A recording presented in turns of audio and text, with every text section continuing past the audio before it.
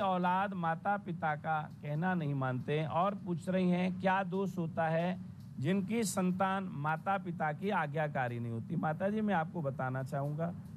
संसार में चार प्रकार के संबंध होते हैं, शत्रु, उदासीन, ऋणानुबंधी और सेवक। जे, पहले हमने जिनसे लड़ाई किया, झगड़ा किया, बदला जो हमसे नहीं चुक पाए या हम नहीं चुका पाए, वो पिता पुत्र बनकर भाई भाई बनकर पति पत्नी बनकर मित्र मित्र बनकर, वही लोग शत्रु बन के आते हैं और हमसे शत्रुता चुकाते हैं। एक संबंध तो संसार में वो है।